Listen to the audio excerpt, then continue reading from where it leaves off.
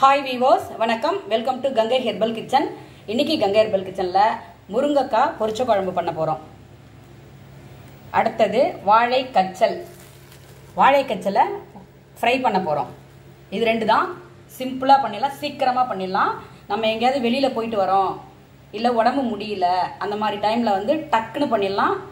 இது இது சாதம் வடிச்சிட்டு இந்த பொரிச்ச குழம்பு வச்சு இந்த வாழைக்காய் வறுக்கிறதுக்கு ஆஃப் அன் ஹவர் போதும். ஓகேங்களா? கட் பண்ணியாச்சுன்னா ஆஃப் அன் ஹவரில் சமையல் முடிஞ்சிடும் சத்தானதாகவும் இருக்கும் டேஸ்ட்டாகவும் இருக்கும். டக்குன்னு பண்ணிடலாம். ஓகேங்களா? இப்போ இந்த முரு முருங்கைக்காய் பொரிச்ச குழம்புக்கு முருங்கைக்காய் அரிஞ்சு வச்சுருக்கேன். இங்கே பாருங்கள் புழுங்கல் அரிசி ஒரு ஸ்பூன் எடுத்து வச்சுருக்கேன். இதை வந்து வறுத்துட்டு இது கூட கொஞ்சமாக மிளகு சேர்த்து வறுத்துக்கணும். வறுத்துட்டு பவுடர் பண்ணி குழம்பு கொதிச்சு இறக்க போகிற நேரத்தில் இது தூவிட்டு இறக்கணும். இது வந்து எங்கள் அப்பா பண்ணி தருவார். இந்த மாதிரி இந்த முருங்கைக்காய் பொரிச்ச குழம்பு. எனக்கு டக்குன்னு அந்த நினைவுக்கு வந்துடுது அதனால் இன்றைக்கி அந்த முருங்கைக்காய் பொரிச்ச குழம்பு உங்களுக்கு அந்த மாடல் பண்ணி காமிக்கிறேன். ஓகேங்களா? அந்த முருங்கைக்காயில் மட்டும்தான் பண்ணலாமான்னா கிடையாது. முருங்கைக்காய் கத்திரிக்காய் அவரைக்காய் பீர்க்கங்காய் இதில் எல்லாமே பண்ணலாம். ஓகேங்களா? இப்போ வந்து இந்த முருங்கைக்காய் பொரிச்ச குழம்புக்கு வெங்காயம் கட் பண்ணி வச்சுருக்கேன் தக்காளி கட் பண்ணி வச்சுருக்கேன். பூண்டு எவ்வளோ வேணால் போட்டுக்கோங்க. அது உங்களுடைய சௌரியம். பூண்டு வாங்கும்போது நாட்டு பூண்டாக வாங்கிக்கோங்க. இந்த வெங்காயம் வந்து தட்டி போட்டுக்கோங்க அந்த வாழைக்காய் வறுவலுக்கு. இந்த பூண்டு ஒரு அஞ்சு பல்லு பூண்டும் இந்த இதுவும் இடித்து இல்லைன்னா அம்மியில் நச்சுக்கி கூட அதை சேர்த்துக்கோங்க. நான் ஃப்ரை பண்ணும்போது காமிக்கிறேன். ஓகேங்களா? இப்போ ஒரு சின்ன தகவலோட சொல்கிறேன் உங்களுக்கு. நீங்கள் எங்கேயா ஊருக்கு போகிறீங்க அப்படின்னீங்கன்னா கிராம பகுதிகள் போகும்பொழுது கண்டிப்பாக வந்து பாருங்கள் என்னென்ன விற்கிறாங்க அப்படின்றத பாருங்கள் நம்ம வீடியோஸில் கேட்டிருந்தாங்க. மூக்கரட்டை கீரை வந்து நீங்கள் சூப்பு இதெல்லாம் போட்டிருக்கீங்க கடையிலலாம் போட்டிருக்கீங்க அதில் வந்து ரசம் பண்ணலாமான்னு கேட்டிருந்தாங்க. கண்டிப்பாக பண்ணலாம். இது நான் வந்து ஊருக்கு போயிட்டு வரும்பொழுது நான் வாங்கிட்டு வந்தேன். அந்த விக்கிரவாண்டி தாண்டினோடனே மேலே கொந்த வழியாக பாருங்கள் மேலே கொந்த விழுப்புரம் திருக்கோயிலூர் முண்டியம்பாக்கம் இந்த மாதிரி டைம்லலாம் உங்களுக்கு வந்து கிடைக்குது. அந்த கீரைக்காரங்கிட்ட கேட்டால் எடுத்து தராங்க. நான் என்ன பண்ணிட்டேன்னா அதை வாங்கி நான் வாங்கி எடுத்து ஆஞ்சின்னு வந்து டூ டேஸ் ஆகிடுச்சு ஓகேங்களா நாளைக்குள்ளே இதை பண்ணிடணும். அவ்வளவு நல்லதுங்க. கிட்னி ப்ராப்ளம் எதுவாக இருந்தாலும் ஒரு வாரம் சாப்பிட்டீங்கன்னா க்யூர் ஆகிடும் இல்லை இது கிடைக்கும் போது வாரத்தில் ரெண்டு நாள் சாப்பிட்டுக்கோங்க.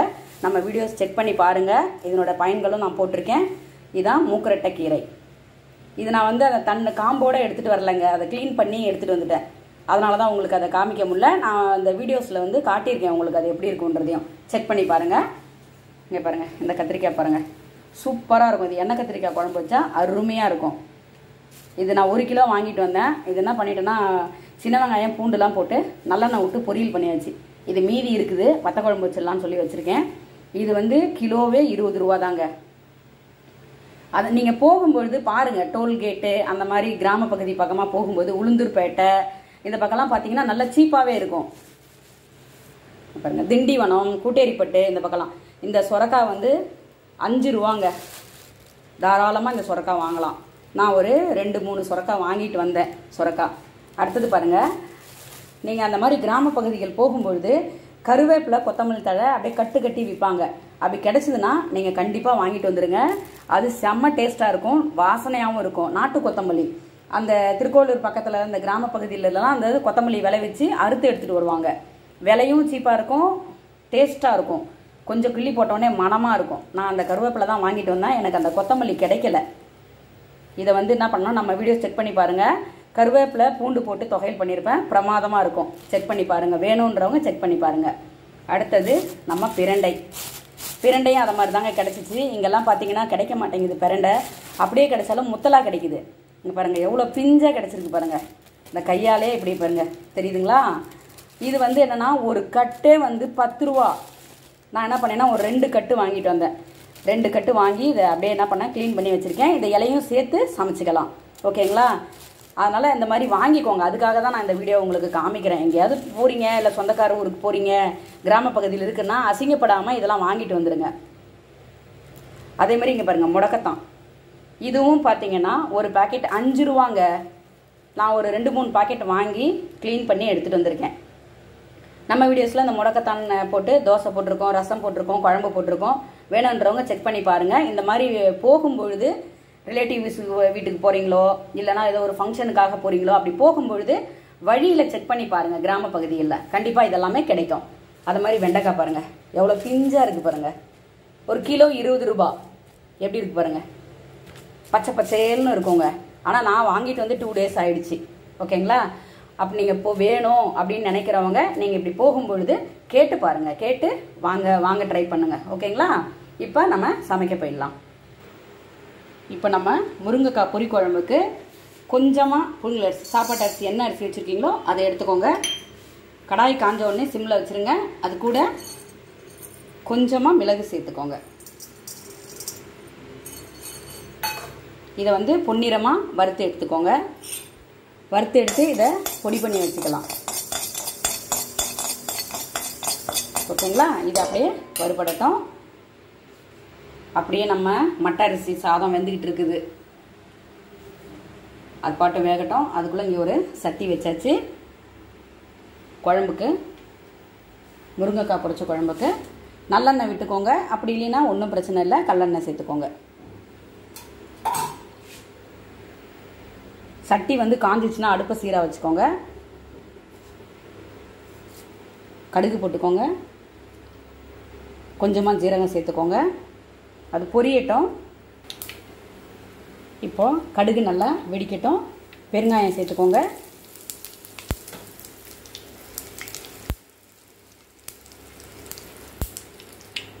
பெருங்காயம் சேர்த்த பிற்பாடு நல்லா கருவேப்பிலை அலம்பி வச்ச கருவேப்பிலையை சேர்த்துக்கோங்க.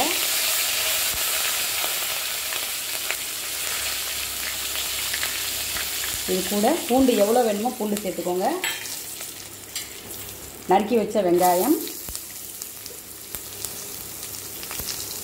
கொஞ்சம் நல்லா வதங்கட்டும். நம்ம இந்த பொரி அரிசி வறுப்போம் பார்த்தீங்களா பொரி பொரி மாவுன்னு சொல்லுவோம். அதுக்கு வறுக்கிற பதம் இது. பாருங்கள் இந்த அளவுக்கு செவந்தா போதும். கருக விட்டுறாதீங்க. இதை வந்து நல்லா பொடிச்சு எடுத்துக்கலாம். அவ்வளோதான் அடுப்பு ஆஃப் பண்ணிடலாம். இதிலே நம்ம வந்து வாழைக்காய் வேக வச்சு வாழைக்காய் ஃப்ரை பண்ணிப்போம். இந்த அளவுக்கு நல்லா வதங்கினோடனே நறுக்கி வச்சு தக்காளி போட்டுக்கோங்க. தக்காளி வேணானாலும் நீங்கள் வந்து ஸ்கிப் பண்ணிக்கோங்க. தக்காளி வந்து போடணுன்றது இல்லை வேணாம். இல்லை போடாட்டாலும் டேஸ்ட் நல்லா தான் இருக்கும். நல்லா வதக்கி விட்டுருங்க. இதில் வந்து உப்பு சேர்த்துக்கோங்க.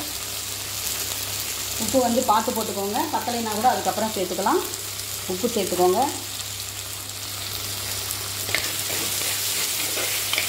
நல்லா கலந்து விட்டுருங்க. கொஞ்சமாக மஞ்சள் பொடி சேர்த்துக்கலாம்.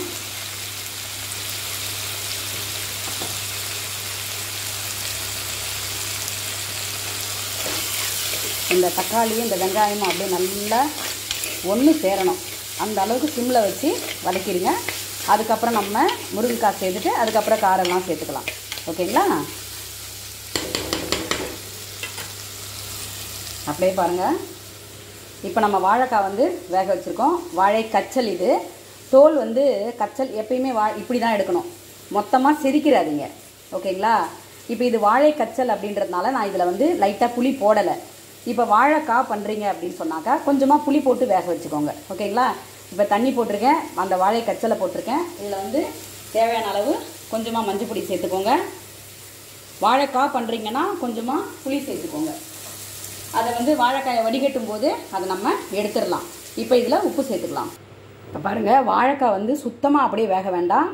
ஒரு 75% ஃபைவ் பர்சன்ட் வெந்தால் போதும். இங்கே பாருங்கள் இந்த அளவுக்கு வெந்தால் போதும். இதே தண்ணியிலே ஒரு பத்து நிமிஷம் அப்படியே அடுப்பு ஆஃப் பண்ணிட்டு வச்சிருங்க. அப்போ வந்து வாழைக்காய் பொரியல் பண்ணும்போது ரொம்ப ட்ரையாக தொண்டை அடைக்கிற மாதிரி இருக்காது.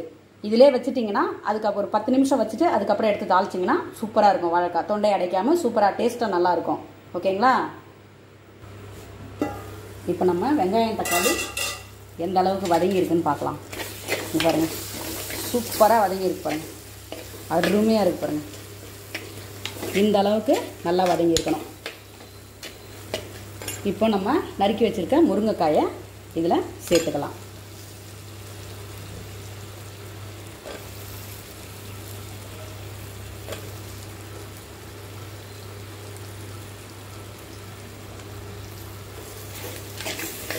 அங்கே முருங்கைக்காய் எப்படி இருக்கு பாருங்கள் முருங்கைக்காயை அங்கே ஊரில் வாங்கிட்டு வந்த முருங்கைக்காய் தான்.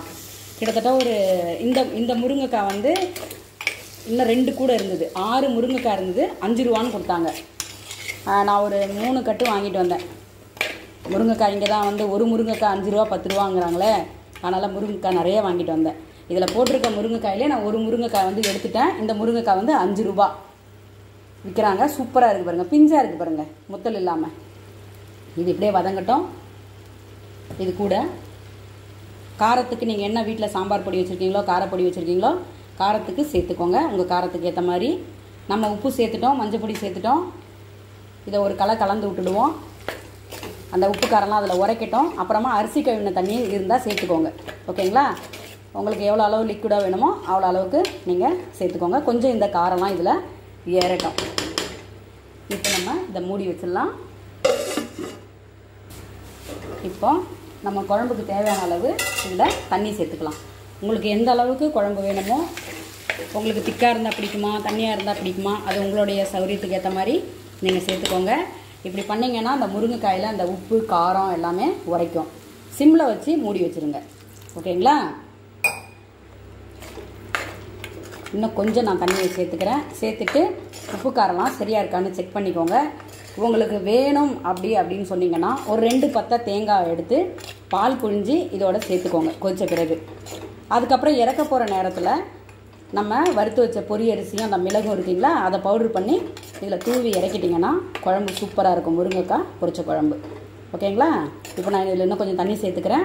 உப்பு காரம் செக் பண்ணிக்கோங்க உங்களுக்கு தேவையான அளவு. இப்போ நம்ம கடாயில் வந்து வாழைக்காயை வறுத்துடலாம். அது எண்ணெய் வந்து உங்களோட சௌரியத்துக்கு நீங்கள் சேர்த்துக்கோங்க. கம்மியாக வேணுமா அதிகமாக வேணுமா பார்த்துட்டு நீங்கள் சேர்த்துக்கோங்க. ஆனால் வாழை கச்சல் வந்து பண்ணிங்கன்னா சூப்பராக இருக்கும். கடுகு வெடிக்கட்டும். நம்ம வாழைக்காயை நல்லா வடிகட்டி வச்சாச்சு. இங்கே பாருங்கள் இப்படி இருக்கணும். சுத்தமாக வெந்துடக்கூடாது அப்படி வெந்ததுன்னா அது கேஸும் ஃபார்ம் ஆகும்னு சொல்லுவாங்க. எனக்கு தெரியாதுங்க பெரியவங்க சொல்கிறது தான் ஓகேங்களா? இந்த மாதிரி வேக வச்சு எடுத்துக்கணும். அதனால் நீங்கள் காய் வாழைக்காயாக இருந்தால் புளி போட்டு வேக வச்சு எடுத்துக்கோங்க. ஓகேங்களா? இப்போ வந்து வாழைக்காய் வறுவலுக்கு வந்து இந்த வெங்காயத்தையும் பூண்டையும் இப்படி தட்டி வச்சுக்கிட்டேன். அம்மி இருந்தால் ஒரு நச்சு நச்சுனீங்கன்னா சூப்பராக இருக்கும். அதே மாதிரி இந்த பொரியரிசியும் மிளகும் பவுடர் பண்ணி வச்சுக்கிட்டேன். இது அம்மியில் நுணுக்கி போட்டிங்கன்னா இன்னும் டேஸ்ட்டாக இருக்கும். இந்த குழம்பு கொதிக்கட்டும். அதுக்குள்ளே இங்கே வாழைக்காயை வறுத்துருவோம். கடுகு வெடிக்குது. அடுப்பு சீராக வச்சுக்கோங்க. கருவேப்பிலை சேர்த்துக்கோங்க.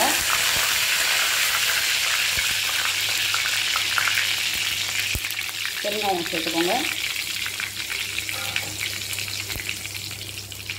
இப்போ நம்ம இடித்து வச்ச அந்த வெங்காயமும் பூண்டும் சேர்த்துக்கலாம். இந்த அளவுக்கு வதங்கின உடனே வெங்காயமும் அந்த இடித்து போட்ட பூண்டும் வதங்கின உடனே இதில் வந்து வாழைக்காயை நீங்கள் சேர்த்துக்கோங்க.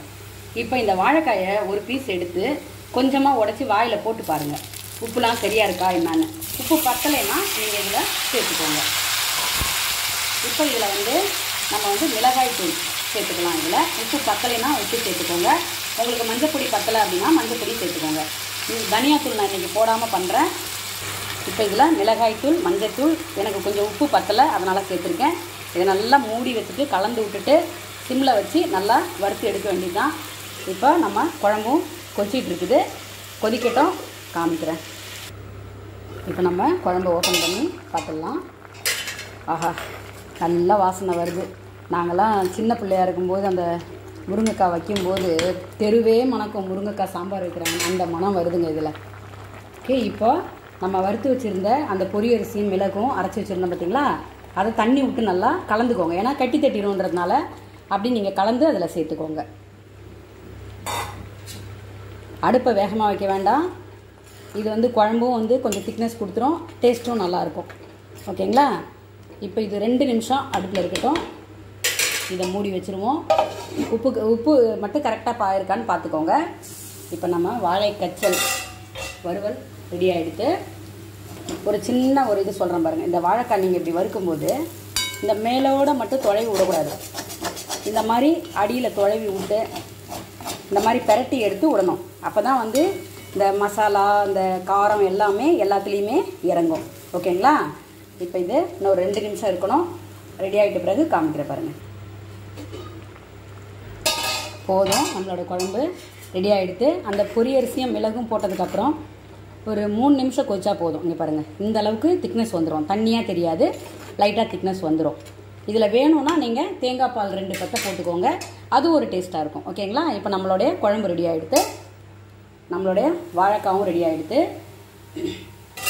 நம்ம எண்ணெய் கொஞ்சம் ஊற்றுனா நல்லா மொறுமொறுன்னு கிறிஸ்பியாக வறுத்து எடுக்கலாம். நான் எண்ணெய் கம்மியாக விட்ருக்கேன் அதனால தான் வாழைக்கச்சல் இப்படி தான் இருக்கும் ஓகேங்களா நம்மளுடைய வாழைக்கச்சல் ரெடி ஆகிடுது நம்மளுடைய மட்டை அரிசி கேரளா அரிசின்னு சொல்லுவோம் இல்லைங்களா? அந்த மேல் தோல் ரொம்ப எடுத்துட்டு பாலிஷ் பண்ணதாக சாப்பிடாதீங்க. ஏதாவது வாரத்தில் ஒரு நாளோ ரெண்டு நாளோ இந்த மாதிரி சாப்பிட்டு பழகிக்கோங்க. இப்போ நம்மளுடைய சிம்பிள் சமையல் ரெடி ஆகிடுத்து முருங்கைக்காய் பொரிக்குழம்பு வாழைக்கச்சல் பொரியல் இல்லை வறுவல் எப்படி வேணால் சொல்லிக்கோங்க சாதம். இதை மாதிரி இதோட நீர் மோர். நம்மளோட கருவேப்பிலையோட அரைச்சி விட்ட நீர் மோர். இதேமாரி செஞ்சு பார்த்துட்டு உங்களோட பதிவை என்னோட சேனலில் பண்ணுங்கள் லைக் பண்ணுங்கள் ஷேர் பண்ணுங்கள் கமெண்ட் பண்ணுங்கள் மறக்காமல் சப்ஸ்கிரைப் பண்ணிவிடுங்க நன்றி.